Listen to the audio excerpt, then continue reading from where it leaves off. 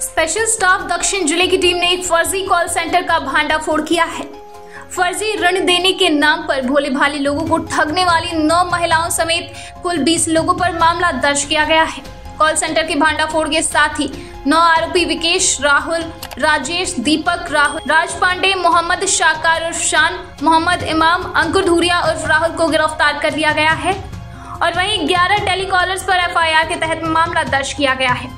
गिरफ़्तार आरोपियों की निशानदेही पर 32 मोबाइल फ़ोन 48 फर्जी सिम कार्ड, चार लैपटॉप, एक dongle 25 register, ATM card, passbook, chequebook 23 bank खातों का पता लगाया गया, जिनमें धोखाधड़ी से पैसे निकाले गए थे।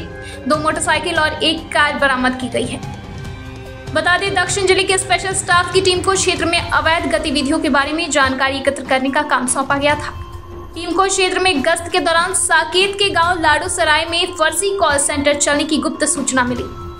सूचना के आधार पर टीम ने ओल्ड एमबी स्थित लाडू सराय साकेत में छापेमारी की गई।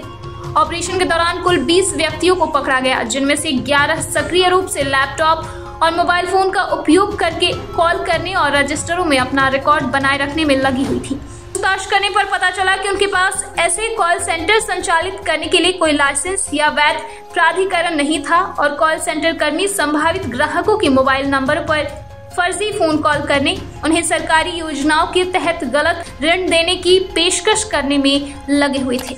उन सभी पर मामला दर्ज किया गया, जिनकी पहचान बाद में विकेश राहुल, राजेश, दीपक, राहुल राज पांडे शान मोहम्मद, इमाम अंकुर धूरिया और 11 टेलीकॉलर्स के रूप में की गई।